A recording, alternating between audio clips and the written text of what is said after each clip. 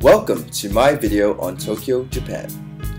Now before I begin, I'd just like to say that this is not a comprehensive guide to denim in Tokyo. I made this video with the intention to give some perspective on denim culture in Tokyo. It was winter and it was raining dreadfully for two days. But I did manage to capture a few good shots. This is Evisu. It's located near Ebisu and Daikanyama. I was told that most of the products in store are unsurprisingly made in Japan. However, there were a few racks that had made in China shirts. So it's best to ask where the good stuff is. They have the whole range of Evisu dry denim in store, where you could opt for a hand-painted gull on your back pockets.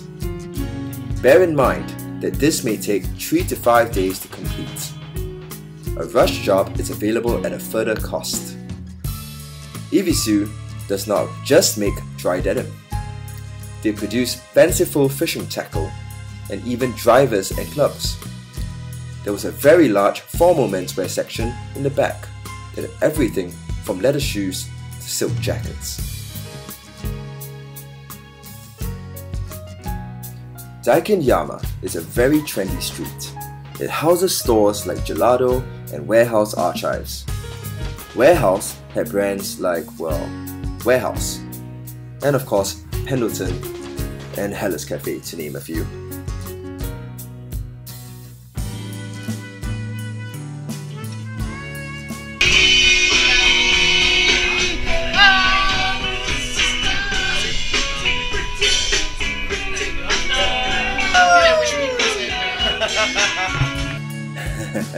Sorry about my buddy Justin singing there. We move on to Ueno. It is an amazing district that seems to have a little bit of everything. They had pachinko centers, a fish market, lots of street food and ramen, hat stores, jewelry stores, even a BB gun store.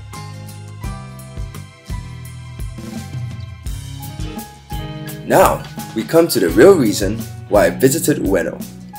Americaya, Hinoya, and General Garden are arguably a denim hit's wet dream.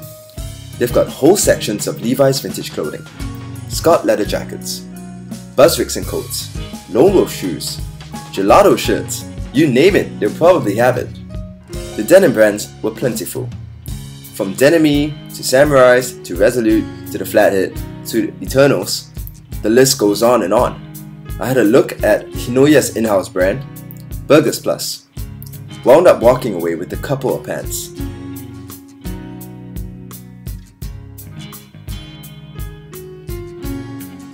While I was in Tokyo, I decided to look up Tagaya-san of Stevenson Overall Company. He was so warm and welcoming, taking me through his office and to a private showroom for retailers' eyes only, featuring his latest spring-summer collection. It turns out that Tagaya-san was the first in Japan to use single needle construction on denim 13 years ago, producing a far more durable pair of jeans. Apart from the amazing knits and shirts, there were some incredible accessories like this silver bangle and ring set with Deerbone. This is a range of accessories produced by a different label called Mohawk, also under Tagaya-san. This is Takeshita Street, in Harajuku.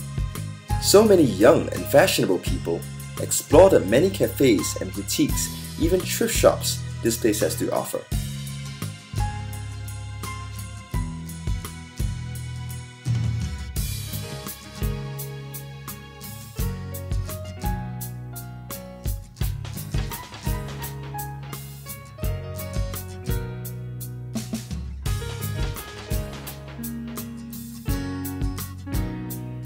If you're in Harajuku, you must visit RRL. It is like a denim museum.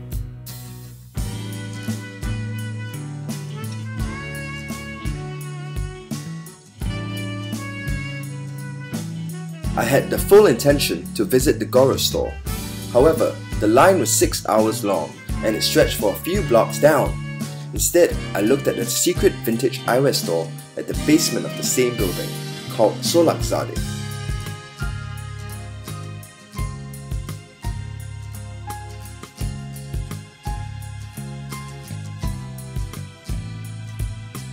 They converted this old swimming pool into a fashion retail store called The Pool by Hiroshi Fujiwara.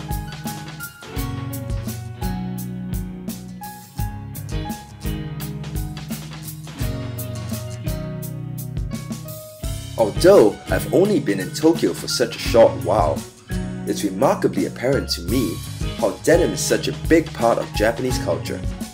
Just walking down Shibuya, you'll find all kinds of people in denim from undoubtedly varying walks of life. We're not just talking about the full on workwear bloke, but everyone seems to see denim as a staple part of their wardrobe. I met a beautiful model the other night, and she had on a very form fitting pair of denim, almost like she was reading my mind. Anyways, this has been a spectacular trip.